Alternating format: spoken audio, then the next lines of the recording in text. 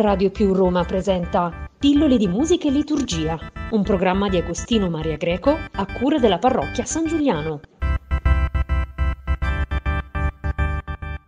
Un altro pilastro della riforma liturgica del Vaticano II è quello della partecipazione. Anzi, forse possiamo dire che è stato lo scopo della riforma liturgica stessa, per cui potremmo concludere che sarà la partecipazione dei fedeli che ci dirà se la riforma liturgica sia riuscita o meno. A onor del vero, il tema della partecipazione alla liturgia venne citato sia da Papa Pio X nel motu proprio tra le sollecitudini del 1903, sia da Pio XII nell'enciclica Mediator Dei del 1947, entrambi sollecitati dalla riflessione che già alla fine del XIX secolo il movimento liturgico aveva fatto. In entrambi i casi però la partecipazione è intesa come un intimo contatto dell'anima e non è legata al rito. Il Concilio Vaticano II invece pone la partecipazione come derivazione dalla natura stessa della liturgia. La partecipazione infatti è descritta come la via per la fruttuosità della liturgia stessa. Sacrosandum Concilium insiste sulla partecipazione interiore ed esteriore, che è il vero nodo della questione. Ciò perché si ha l'impressione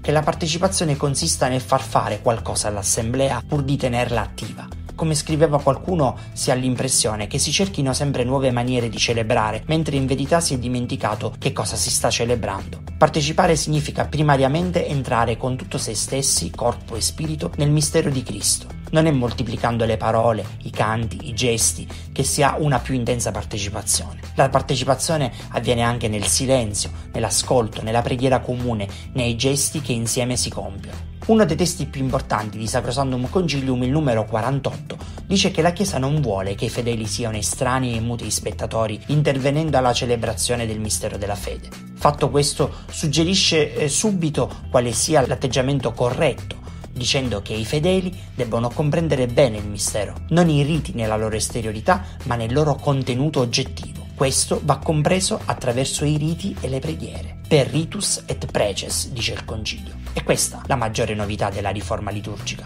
del Vaticano II, dicendo che i riti e le preghiere della liturgia sono il modo per arrivare alla comprensione del mistero. Si tratta quindi di un modo diverso di concepire la partecipazione, una partecipazione che deve essere consapevole, pia e actuosa. Actuosa quasi sempre viene tradotta in modo inesatto con attiva. Il concilio però non utilizza la parola latina activa, ma la parola latina actuosa. La differenza è rilevante.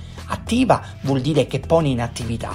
Actuosa significa invece che la piena partecipazione avviene attraverso un contatto con l'atto liturgico del mistero pasquale. Partecipazione actuosa non significa quindi allora show, non significa ingenerare dell'attivismo sfrenato nell'assemblea liturgica e neppure scadere in quel comunismo livellante che vuole tutti uguali e necessariamente impegnati allo stesso modo ma partecipazione vuol dire promuovere una ministerialità il più possibile diffusa e qualificata, dove ognuno ha la sua vocazione e competenza e in forza di ciò esercita il suo servizio.